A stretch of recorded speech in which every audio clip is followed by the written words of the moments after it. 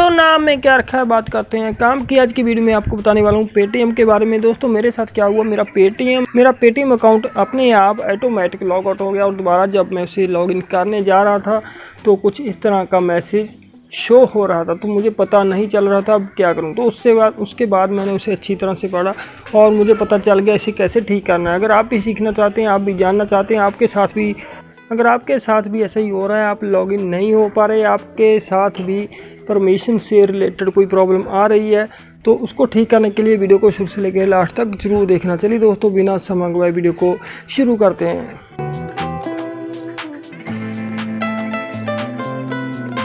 दोस्तों, अगर परमिशन से रिलेटेड कोई प्रॉब्लम आपके पेटीएम में आ रही है तो उसके लिए आपने क्या करना होता है? उसके लिए आपने सेटिंग में जाना होता है, ठीक है ना? सेटिंग में जाने के बाद आपने ढूंढना होता है एप्लीकेशन मैनेजर या फिर ऐप मैनेजर होगा, हो सकता है ऐप मैनेजमेंट हो। तो अलग अलग फ़ोन में ये थोड़ा बहुत उसका नाम चेंज हो सकता है, ठीक है? जहाँ जहाँ सेटिंग में आपको कहाँ मिलेगा, देखिए, थोड़ा नीचे जाते हैं। यहाँ देखिए एडिशनल सेटिंग होता है, इस पर क्लिक कीजिए।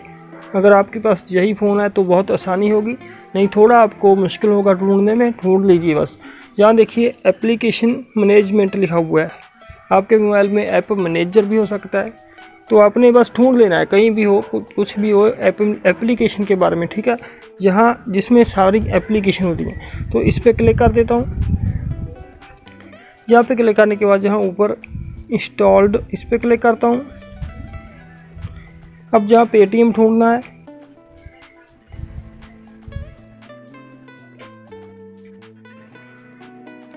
जहाँ पे देखिए पेटीएम मिल चुका है, इस पर क्लिक करना है। इस पर क्लिक करने के बाद अगर परमिशन से रिलेटेड कोई प्रॉब्लम है तो जहाँ से ठीक हो सकती है, जहाँ आपने क्या करना है परमिशन मॉनिटर पे क्लिक करना है। यहाँ पे क्लिक करने के बाद देखिए ये सारे के सारे बटन आपके ऑन होने चाहिए। मैंने पहले ही ऑन कर रखे हैं। अच्छा आपने इसे ऑन रखना है। अगर आपका कोई भी बटन इसमें ऑफ़ है तो उसे ऑन कर दीजिए। जो भी आपकी प्रॉब्लम है, वो ठीक हो जाएगी। कोई भी प्रॉब्लम आपको नहीं आएगी परमिशन से रिलेटेड ठीक है? इस तरह से आप ठीक कर पाओगे अपनी प्रॉब्लम को। तो वीडियो अच्छा लगा लाइक एंड शेयर कीजिए। मिलेंगे अगली वीडियो में।